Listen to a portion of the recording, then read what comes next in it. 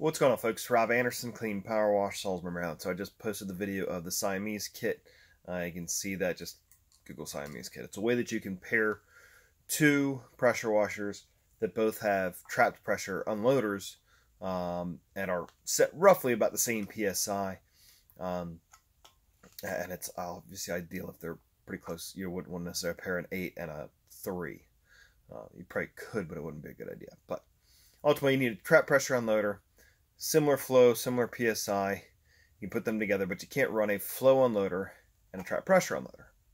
So what is that? What's the difference? Well, I got a whole mess of unloaders um, and one flow unloader. So we'll start with, and actually, let's see here.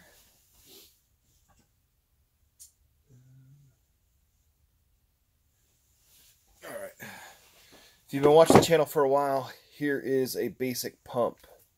This right here is your unloader. It's a built-in unloader. You've got your little chem pickup tube there. You can see that right there. This is a Comet ZWD uh, 4036. So it's four gallons a minute. Let's see if we can get it to focus. There we go. Four gallons a minute, 3,600 PSI. Um, direct drive. Again, the fact that the unloader is built into it is why when the unloader goes, woo, you just toss it. We still have this because sometimes the check valves inside these things can be reused for stuff. Um, other pressure washers, and let's see.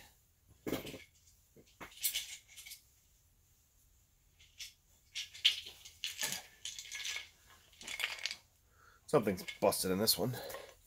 This is a 5 gallon a minute. This is a uh, RKV 5.5 gallon per minute. Uh, either 4, uh, yeah, 4,000 PSI. See this. So your water inlet, your pressure outlet. Now this does not have the unloader on it. The unloader we would put separately on here. And actually, yeah, see, see that top of that uh, right here got busted pretty bad. Not really sure how that happened, but it happened. So on that one, again, what we did is we quick connected the outlet of it. So that way we can put a quick connect, um, either plug or or coupler, depending on how you want to do, male or female, whatever you want on there. Um, so we can swap an unloader in and out pretty quickly. Some some websites they'll show them doing the metric fittings, where you just twist your unloader on, twist your unloader off, um, kind of how a JIC fitting or a swivel fitting would work so that you don't have to take that water portion, that water um, nipple or, or whatever, or barb off. Because when you try and spin this around, it hits that. It's just a pain. Um, so anyways, pressure unloader. This, which one is this here? Uh, I want to say this is a Pulsar, but I'm not 100% sure. Most of them, um, what you'll probably have is something more like this. This is a VRT3 unloader. These come pretty standard on a lot of units. They're just really basic. Most times you're going to just set the pressure on it initially with your correct high pressure tip and your pressure gauge. Um, and then you just leave it alone. With an unloader, you're going to have your inlet. You can also, some of them, you can have them um, either do bottom or the front here. This is the way it's coming out. You'll see this will be the shorter side, this will be the bigger side. And let me show you inside here. This is going to be a bit more challenging. But if you can see see that little ball, that's what happens in there. And again, this one's busted. But basically when the water is going through, it's allowing this gate to be open. And then as soon as you back up the pressure, the water is no longer forcing through there. It closes and then the water goes out this bypass port. now this, you can actually mount it so it can either come in this way or it can go in this way. You only have one outlet on here. and then you have two different options for your bypass. So if, you know, just the way that it's oriented, let's say it's going like this and you want to have it coming out that side, you can. Or if it's better oriented that your tank's on this side, you can have it coming out that side. And then you just throw a plug in the other side of it. So that's your trap pressure ones. and then here we have a flow unloader. Um, this one is Zeromatic. Um, this one you can actually, if I remember correctly, one you can bypass out the bottom of this. It's a big sinking one. Um, I believe one of these ones, and this might be it, but we can actually run two guns off of. I've never run two guns off of one unit. I don't like the idea. I'd rather just give each guy their own machine and go nuts with it. Um, the difference, though, when you guys have a, a trap pressure unloader, when you pull that you pull that trigger, now you get that first blast that comes out of it real quick. And it might not be a huge blast, but you've got that trapped pressure and it shoots out and then it gets down to its regular pressure. With a flow tra- with a flow unloader, what happens is that when you're not spraying, that water goes back into your into your tank just like it would with that. But the whole line is not loaded with pressure at that point. So until you actually go through and then when you pull the trigger, and those are the ones and you're gonna see it more on like a eight gallon a minute or higher unit, and it'll you'll pull the trigger, it's not full force, and then it goes zoom, and then you're full force. Um, that's what will happen with a flow unloader. So it's nice there. It's supposed to be less wear and tear on your equipment, less wear and tear on your, your hoses and everything, um, an easier pull when you, you pull the trigger.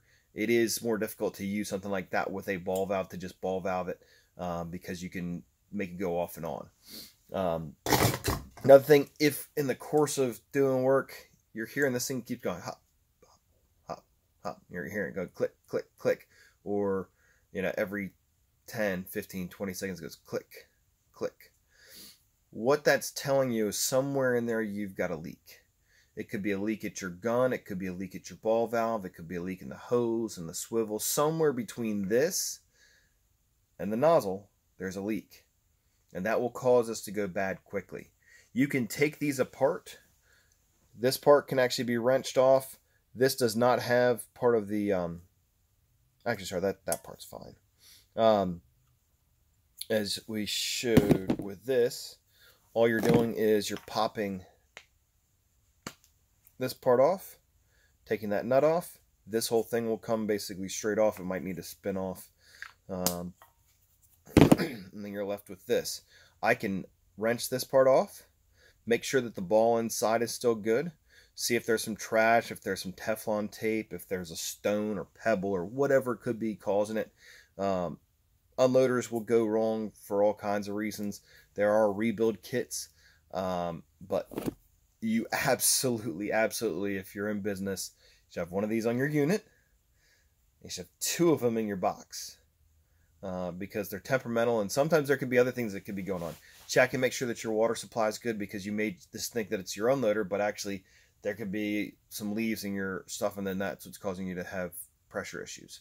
Um, but um, and never run a pressure washer without an unloader unless you've got a dump gun, um, which, quite frankly, if you're watching one of these, you probably don't even know what that is. Um, but because what will happen when your unloader goes, it will no longer bypass water back somewhere, and so all it does is just create build, build, build, build, build, build, build, find a weak spot and bust open your hose, um, which is not fun. Trust me, it is not fun uh, early on when your hose blows and you don't have 400 extra feet sitting on your trailer or truck like I do now. So um, that's unloaders again. Trapped pressure, and again we we've got the quick connect fittings on this. This seized on, so you know, we don't whatever. These are all spare parts. If we need to get an adapter or whatever, we'll pull off of them. Um, throw these away. Um, yeah. here's another they can also look like this. You may see it with just the blue screen or blue spring, green spring, whatever. Um, and actually, let me find one more for you.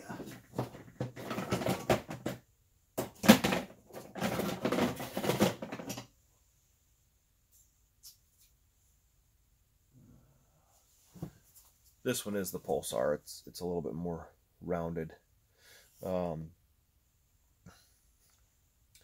the eight gallon a minute ones are usually a half inch inlet versus these ones are three quarter. This is what I'll show you with the, um, we would normally put our quick connect coupler on the um, on the mounting spot for the engine or for the outlet for the high pressure side. And then we would just plug that in. We've got the hose barb on here and then we got a quick connect out.